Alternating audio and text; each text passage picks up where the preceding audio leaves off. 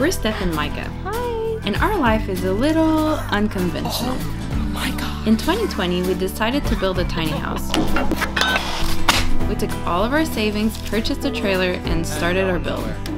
We were super excited to film the whole process, but quickly discovered how big of a project this was. After being truly overwhelmed, YouTube fell to the wayside. We updated people pretty often on social media, but always felt sad that filming it didn't work out. After a long labor of love, we finished our build, and we love it. But we had an idea. What if we live in a tinier space? So we bought an ambulance! And this time, we're gonna give YouTube a second shot.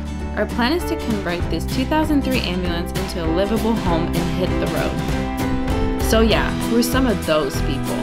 But really, we're just like you. If you've ever had an urge for adventure, then you've come to the right place. We can't wait to share this project with you and hopefully inspire you to start an adventure of your own.